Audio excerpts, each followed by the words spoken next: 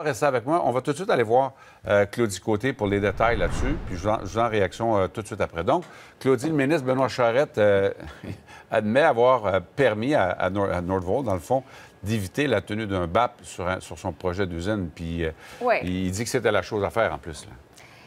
Oui, surtout que depuis des mois, euh, le gouvernement, en premier lieu euh, les ministres Pierre Fitzgibbon et Benoît Charette, euh, s'attardent à répéter que l'usine Nordvolt, l'entreprise Nordvolt, n'a pas bénéficié de processus accélérés ou encore d'assouplissement dans la réglementation pour éviter justement d'être soumis à un BAP. Or, Benoît Charette l'a dit d'abord dans une entrevue à la presse qu'il a accordée hier, mais il l'a répété aussi sur nos ondes ce matin avec Mario Dumont.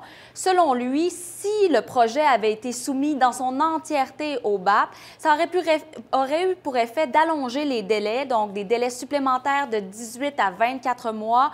Or, selon Benoît Charette, le Québec n'avait pas le luxe d'allonger les délais, qu'on est déjà chanceux de pouvoir euh, profiter de la présence de l'usine Nordvolt ici euh, au euh, Québec, surtout qu'on a des objectifs de décarbonation à atteindre.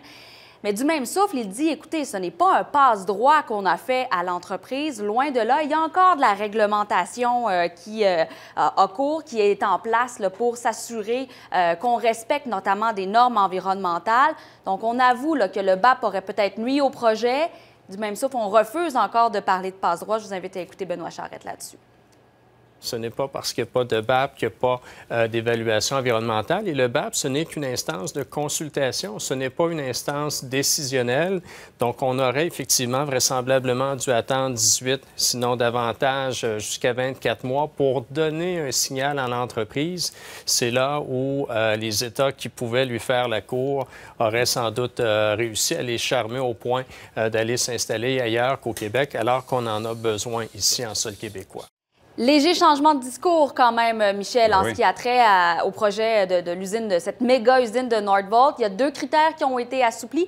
Je vous rappelle quand même que dans ce méga projet, là, il y a trois usines là, qui vont être euh, établies là, sur ce site, euh, sur ce site du côté de Bécancourt, et il y a deux des usines qui ne seront pas soumises à un projet au BAP, mais il y a une usine qui, elle, sera soumise au BAP, et ça, c'est l'usine de recyclage de batteries. merci, merci beaucoup, Claudie. Bon, tout de suite.